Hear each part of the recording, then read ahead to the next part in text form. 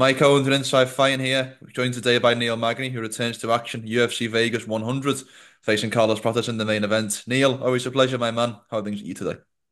Oh, I'm doing great, man. Uh, thanks for having me on with you. How were your emotions ahead of your return? Uh, was that sorry? How are your emotions ahead of your return?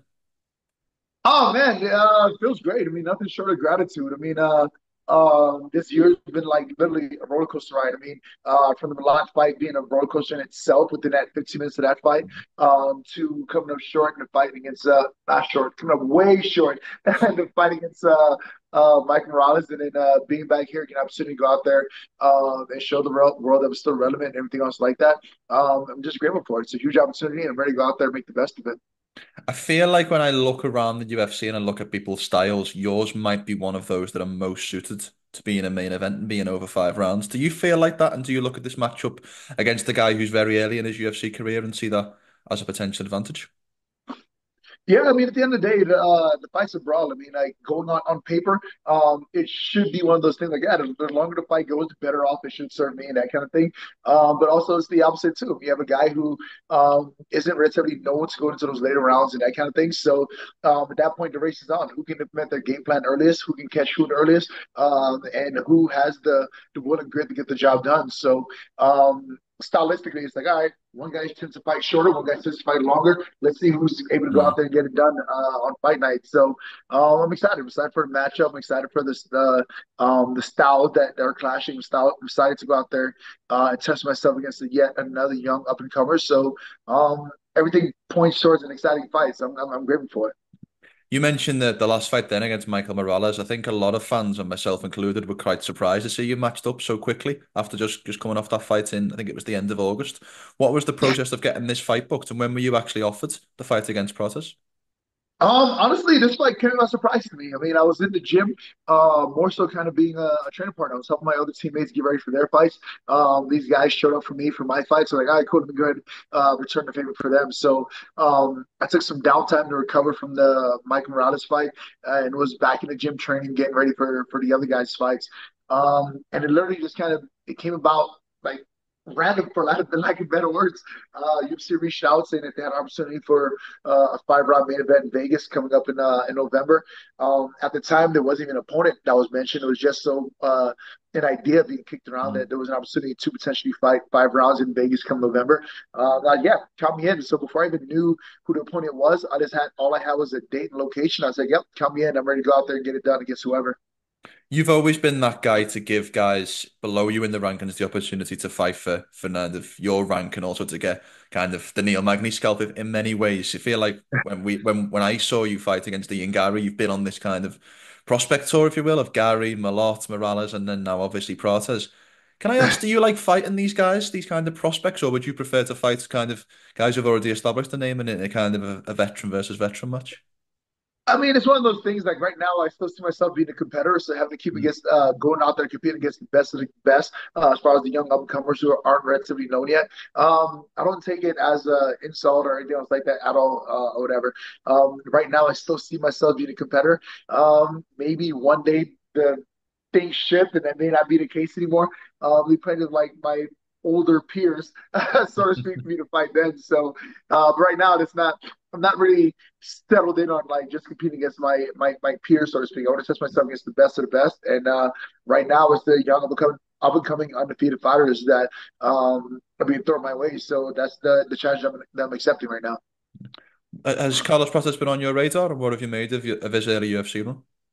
Um, not at all. I mean, one of those things I was, I was kind of jokingly uh rooting for him to win against uh Jingling, Jiliang. Mm. I'm sorry. Uh, just like, oh, cool, fresh meat, a new opponent. because at this point, um, I pretty much fought just about every welterweight you can think of. So whenever there's a new person in the welterweight division that you that they that I get to compete against, I'm always kind of like in the back of my mind, kind of keeping an eye out for. him, like, oh, cool, who's this guy? What is he made of? The kind of thing. And when I saw he was fighting Jiliang, I figured he was pretty close to. Um, getting a shot at the rankings, that kind of thing. And I knew he was kind of going to be uh, a guy that was potentially on the radar for for future fights. Uh, that I think will be this year. Uh, absolutely not. But uh, here we are. I got the fight. I got the offer. Um, training camp's going well. I got a star group of guys around me to to tra- train for this fight. So um, here we go. We're about to make the best of it. Break down his style for me and what do you see as potential areas of strength and what are areas that you're looking to exploit in this one? Yeah, one of the biggest strengths he has is uh is his speed and power. Um, it's very uh uh unorthodox to have a, a long rangy guy, especially from southpaw, uh, be able to have the speed and the power aspect. Normally, uh, when you have a guy who's built like him, they're they're kind of built for endurance, they're kind of built for volume, that kind of thing. Um, he's a guy that's able to do both. He has a, a pretty well-rounded skill set, staying on the outside, using his striking with a variety of strikes. He has uh, good kicks, good good strikes. I mean, he lands that left hand uh, very hard uh, or whatever. So um, he definitely has a pretty solid uh, striking background. But overall, I think uh, uh, matched pretty well against him. I mean, going from southpaw orthodox, I feel like I can uh, exploit some holes in his game on the feet, and then uh, uh, in the clinch on the ground as well. I feel like I can exploit the fight there. So.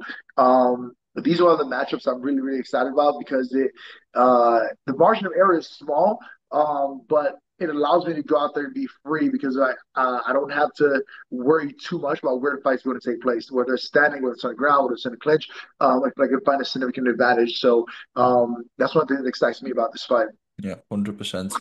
Look, we hear this phrase a lot recently in MMA. We hear three words. A lot of people bandy around the phrase sign the contract, these mythical contracts that have been sent out for people to sign. But your resume and your willingness to fight anybody at any time kind of speaks for itself at this point. I guess my question I want to ask you is, why do you feel like you're the one who will always say yes? Like, what what is it that about you?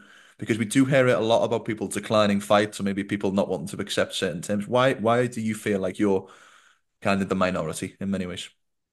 Uh, for me, it's just uh, just my mindset, my approach on it. I mean, uh, I lead with gratitude before anything else. So, uh, whenever a fight offer comes my way, it's not like it's not necessarily me saying like, "Oh, boo-hoo, poor me." It's more so me taking that moment to really appreciate the the appreciate that fight offer and have a level of gratitude associated with it. So when a fight offer comes my way, it's literally like, oh, thank God, I got an opportunity to go out there and compete. I want to go out there and provide my family, have an opportunity to go out there um, and do all these different things. So um, I would, I would, I don't see myself ever being in a position where um, I turn down a fight unless something significant is happening, unless there's a, um, like uh, an emergency my family, unless I'm injured uh, or something like that. I don't see myself ever turning down a fight. Uh, if I'm healthy, uh, if I'm training, if uh, I'm in shape, um, I don't see a reason for me not to fight, regardless of who the opponent may be.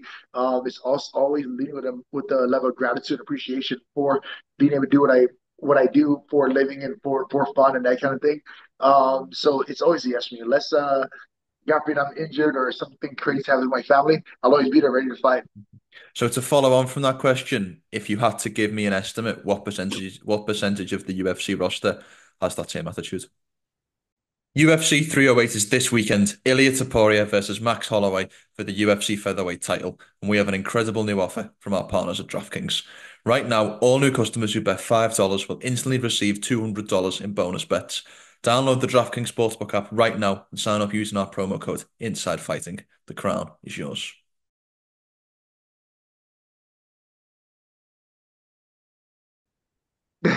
Yeah, I mean, I think it's uh, I think like one of the last few has that uh that old school cowboy mentality, but actually truly fighting anybody, anywhere, anytime kind of thing. I mean, uh, you have guys like Dan Ige who definitely kind of step up to plate, do what they're gonna do. Um, Diego Lopes, another one. Um, you definitely have some of the excuse me, you have some guys in the roster who are willing to uh, put it on the line at any given moment or whatever. But um, I would definitely say a majority of the roster these days are, are the opposite. A lot of people are, are more so uh, trying to like chase clout, so to speak, rather than actually try to um, chase an actual fight. I mean, there's been guys that are um, going to announce fights taking place where one, they haven't talked to the UFC, they haven't talked to the opponent, they just like took upon themselves to say like, hey, um, I'm fighting so and so on this date, and it's like. Wait, where, where did you come up with this date? Where did you come up with this idea? Like, it, it's not even taking place. What are you talking about? Um, and, and, there's a lot of that going on. But the other, the other thing I think is uh, uh, making things difficult is like some people have this idea of a quote unquote money fight in their mind where they have to hold out for the money fight. And um, to me, that's one of the most overused phrases and terms in, in MMA, especially UFC in particular, because um, there's very few people in the roster who are able to negotiate their fights fight by fight, purse by purse. Uh, majority of us, probably 9% of the roster, um, we're all kind of uh, contracted for a set amount of bouts, and our pay is predetermined. So um, whether you're fighting so and so or so and so, your fights purse are predetermined. You're not going to get like a significant jump in pay mm. um, because you're fighting a a guy that's ranked five because a guy that's ranked 10. Like it just doesn't happen for uh, 90% of the roster. There, there are select few who are able to negotiate for um, bigger purses, percentage of pay-per-views and that kind of thing. But um, that's that's just a very few in the company that's able to do that. Majority of us are contracted prior to the fight even being announced, whoever it's going to be. Mm. Um, how in what in what ways does this fight taking place at the UFC Apex and specifically in the small cage affect this one? Do you look at that as a potential advantage, disadvantage, or does that not concern you? Um, no, I mean, uh, honestly, being in the smaller cage, I think it's gonna be uh, it's actually prevent some actually present more difficulties than advantages because uh, we're both longer guys that tend to fight Mm. from the outside. Uh, so like now being like, all right, two two long guys fighting each other in a small cage. It's like if he takes a step back, we're against the wall. I take a step forward, we're back in the open. So it's like it's gonna be a very uh, tight space to fight in, where it's gonna kind of limit some long range weapons or whatever. So um, uh, it might be a slight disadvantage for that reason, um, just because we don't we don't have full access to use the, the full arsenal of weapons that we bring to the table. So um, it might work as a slight disadvantage going into this fight. Yeah, 100%. I have to ask you about the recently booked welterweight title fight between Belal Muhammad and Shavkat Rakhmonov. Just your thoughts on that one and how you see that fight playing out. Yeah, I mean, one thing I'm excited for is that there's uh, this movement happening in the division. There's not uh, this idea from holding up the welterweight division for a rematch and that kind of thing. Um, this opportunity for some fresh, young talent to get out there and challenge for the title. Um, so on that part, I'm really excited. I'm really excited that Belal made the choice to um, go out there and defend the title. Uh, uh, immediately as opposed to holding out waiting for the best case opportunity. Mhm. Um, I know there's a lot of chatter online about uh, finding this person, finding that person, moving up weight class, doing going down, like all this other crazy stuff. So Mhm. um, the fact that the, the the fight is actually taking place, that's the first thing I'm grateful for. Uh, but if I had to break this fight down and think of uh, um, who would win in this fight, it, it's interesting because Shavkat up to this point has uh, 18 wins, no uh, losses, all 18 wins come by finish, um, that kind of thing. So it's hard to root against a guy like that. Uh, but Belal is one of those guys that kind of sneaks in and gets it done somehow every single time. Um, when I look at Belal's uh, fighting style, his skill set, his ability to um, drag the fight to deep water, so to speak, and how he uh, tends to break his opponent down over time, where um, he's kind of keeps the. It's almost like uh, uh, he's like a, a great press, so to speak. Like he just puts the pressure on slowly, slowly, slowly, Mhm. slowly, um, and it gets tighter and tighter while you're in there. Um, and I can actually see Belal kind of making this a long, drawn out fight and being able to beat uh, Shavkat in the distance. I mean, that'll be the first defeat for Shavkat, but um, I see Belal being able to pull that off. Give me one key to victory for each guy. So what to, give me one thing that Shavkat needs to do to have success and one thing that Belal needs to do to have success in this one. Um, the biggest thing for Belal to have success in this fight is going to be using his wrestling to not necessarily uh, get the fight to the ground or even submit uh, Shavkat, but be able to control the fight. Uh, being able to close the distance and control the fight, it'll be it's going to be Belal's to victory in the fight against uh, Shavkat. For Shavkat, the biggest thing is going to be to um, kind of keep his composure uh, and not necessarily go for the hunt immediately. Uh, if you see the opportunity to go for a kill shot, sure, absolutely take it. But uh, knowing that he has the 18 wins, all 18 wins by finish, and having to fight for the first time 25 minutes potentially against a guy like uh, Belal, um, if he kind of takes his time, picks his shots, and be a little more selective on how he enters in for the finish, I think that might be his uh, key to victory, where he doesn't he doesn't need to exert himself and blow his wad early, so to speak, where he doesn't have anything left in the tank for later rounds with a guy like Belal.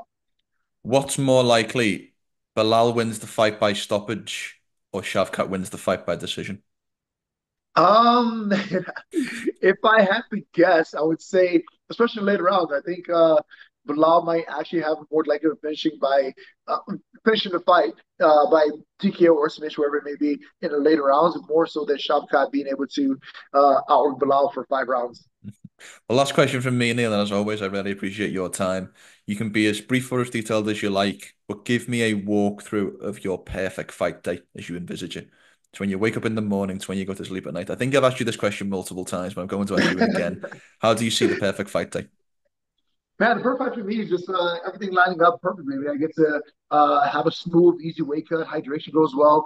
Um, day of the fight, wake up, have a real good breakfast, a good, good shake out with the coaches.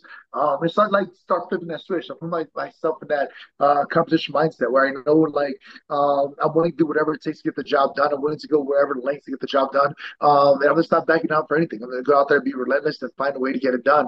Um, once the fight takes place, just kind of bring the fight to, to process. Then going out there and not just like partake in a fight, but going out there and taking what I want from the fight. Um, and I just come out victorious. And I, I know uh, what I'm capable of. I know the, the skill sets I have. I know what training camp is going like for me. Um, and I'm more than confident that I'm able to go out to get the job done come uh, November 9th. I love it. Well, look, Neil, always good catching up. Thank you as always for your time. Have a great and safe rest of the camp and best luck for the next fight. Awesome. I appreciate it. See you in the next one.